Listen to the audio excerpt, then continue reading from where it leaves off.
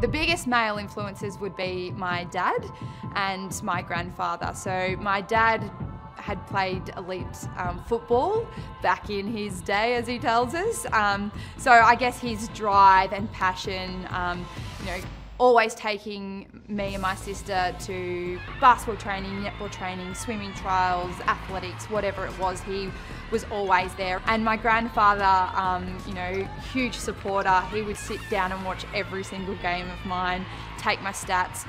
Very football minded brain, so he'd be like, you had 150 possessions, an okay game for you, or too many 50 penalties, which is your contacts. But um, just the fact that they've always been so supportive and loving through the ups and the downs.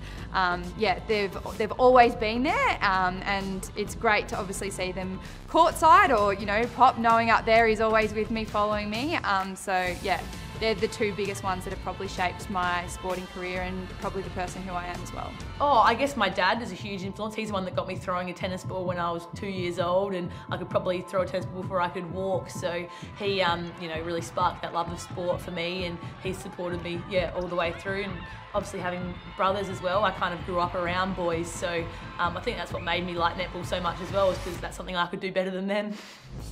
Netball for me has been a massive journey. I've had ACL injuries, I've had selections, I've had missed selections, especially know the Commonwealth Games this year, and it's made me just realise that in life, you know, things happen, but it's okay, you know, it's what you do next and what you bring to the table, and I think for me, I've got a massive bunch of girls that look up to me, and um, for me, it's not just about my individual goal or what I want to achieve, it's about the, the greater picture, and I think netball in life is given me that as well in work, you know, what I want to study, relationships. So I think if I didn't play this sport, I wouldn't have gained that outside of netball.